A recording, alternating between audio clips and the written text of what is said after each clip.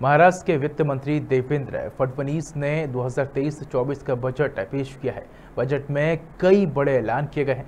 Budget में महिलाओं को बस किराए में 50 प्रतिशत की छूट, किसानों को किसान सम्मान निधि की तर्ज पर छः हज़ार रुपये सालाना देने और राज्य में चौदह नए मेडिकल कॉलेज खोलने जैसी घोषणाएँ की गई हैं। वहीं बजट को लेकर सीएम एकनाथ शिंदे का बयान भी सामने आया है। उन्होंने कहा कि ये बजट व्यापक है और पिछले ढाई वर्षों में राज्य की प्रगति में आने वाली बाधाओं को दूर करेगा। साथ ही महाराष्ट्र को देश में उच्च स्तर पर ले जाएगा। बजट को लेकर क्या कुछ कहा सीएम एकनाथ शिंदे ने? सुनवाते हैं आपको। हे सर्वसमावेशक बजेट आहे. या राज्याच्या प्रगतीवर आलेलं मळ, मळब दूर हा अर्थसंकल्प आहे. या देशामध्ये आपलं राज्य जे आहे हे अर्थसंकल्प एका उंचीवर घेऊन जाणारा अर्थसंकल्प आहे.